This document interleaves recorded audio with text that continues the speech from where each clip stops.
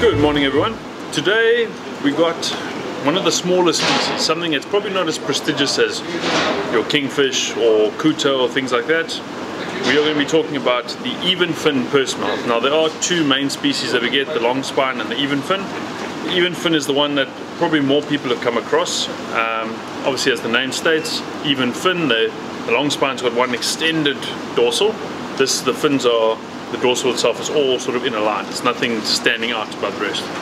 Um, scientific name is Gerres methini, methini, methini, something like that. Um, they've got overall shape-wise quite a smallish fish. You're talking gets up to about 30 centimeters. Um, very sharp pointed mouth. Uh, obviously gets its name purse mouth from the very sharp mouth and the way they feed. They sort of shoot them out a little bit and can feed around. Um, the main distinguishing feature for me on the purse mouths are the, the scissor-like tail. So it's got a very, very, very V-shaped tail. The top there and then the fin is very, very forked in the middle like that. So that combined with the sort of very large eye and that sharp mouth gets, gets you your purse mouth. Now generally normally silver in color, sometimes a little bit of sort of a that sort of dusky yellowy kind of uh, coloration to it. Sometimes a bit of spotting, but normally just sort of your plain silver, very sharp mouth, large eye, scissor tail, scare.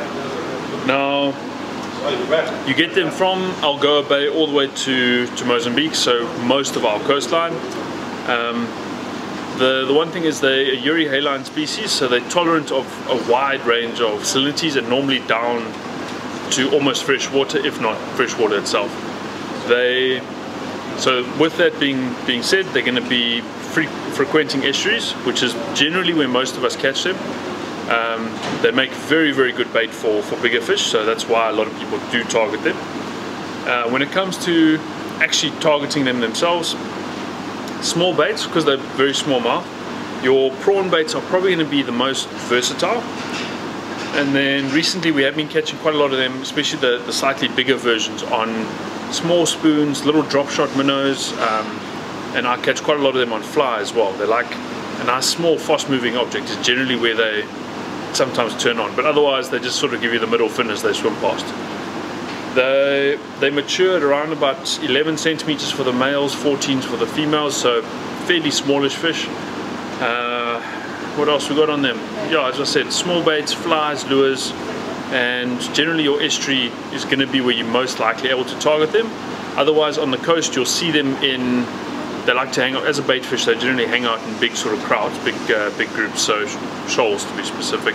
They'll hang out all together so you'll be able to see them and then maybe put a little, a little lure in front of them or small little prawn baits and things like that.